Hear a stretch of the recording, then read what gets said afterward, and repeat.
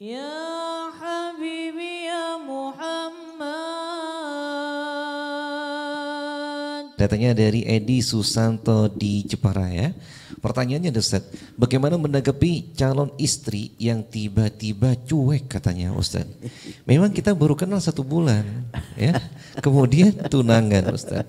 Rencananya, rencananya ingin menikah bulan Desember depan ini Ustaz, tapi sekarang tiba-tiba dia cuek katanya Ustaz. Hmm, kalau gimana? Anda minta saran saya, Iya.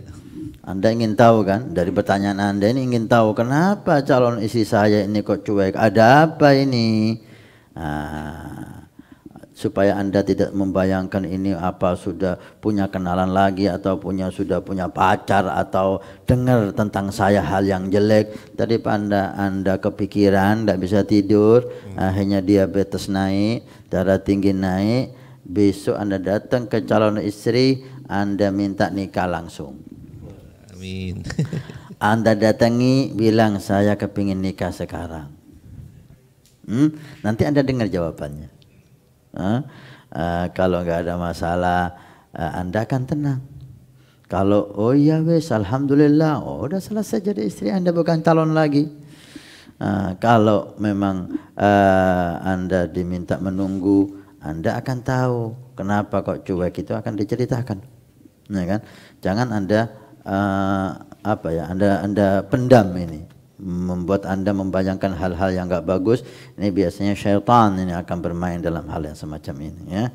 Makanya jangan lama-lama kalau sudah tunangan di zaman ini jangan lama-lama Ah, akan timbul fitnah. Karena siapa? Perempuan mana yang bersih tidak pernah hubungan sama laki-laki? Sangat sulit. Saya bilang nggak ada. Sangat sulit. Laki-laki mana yang tidak pernah hubungan sama perempuan di zaman ini? Dengan adanya WA, Facebook, apalagi punya akun di Twitter, akun di Facebook, WA, ini itu. Eh, akan sangat sulit sekarang untuk menutup fitnah. eh, minta kasih waktu sebentar dan kawin. Hmm, udah selesai Anda hidup baru. Jangan Anda tanya tentang background istri Anda, background suami Anda akan tukaran nanti. Hmm? Karena sulit di zaman ini kita temukan perempuan yang tidak pernah ada hubungan sama laki-laki mana pun. Hmm? Demikian juga cari laki-laki yang tidak pernah ada hubungan sama perempuan mana pun sangat sulit. Ketika anda yakini, anda istikhara, anda tanya ini perempuan bagus, ini laki-laki bagus, minta dan cepat menikah. Setelah menikah, tolong ganti WA, udah selesai semuanya, jangan tanya masa lalu. Jalin hidup yang bagus, nikmati keluarga yang baru, ya, uh, minta sama Allah bimbing istri anda, ajak suami anda sesuai syariat Nabi Shallallahu Alaihi Wasallam. Udah masa lalu kubur, itu baik, itu enggak baik, kubur. Jangan ditanya, Nah, supaya anda enggak sakit. Hmm?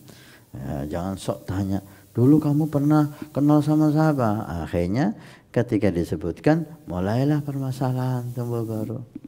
Udah tutup tutup. Sama sekarang laki perempuan sama, nggak ada sulit ya. Saya bilang bukan bilang nggak ada, sulit untuk cari yang bersih. Mulai lahir nggak pernah kenal laki-laki, nggak pernah hubungan sama laki-laki sampai menikah. Oh kalau ada ini hurul ain ini bidadari dari surga ini. Hmm, langka sekali.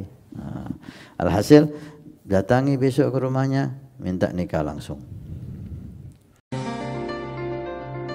Nabi bersabda, "Man bana masjidan banallahu baitan fil jannah." Siapa yang ikut membangun masjid, maka Allah akan membangunkan rumah di surga. Pondok Pesantren Nurul Iman akan membangun masjid dua lantai plus aula, maka kami mengajak untuk kita dan Anda mendapatkan rumah di surga. Kami membutuhkan 2000 orang per orang 100 ribu per bulan selama satu tahun. Silahkan Anda daftarkan diri Anda atau almarhum dari orang tua keluarga Anda yang sudah meninggal atau Anda niatkan untuk putra Anda supaya menjadi putra yang saleh salehah.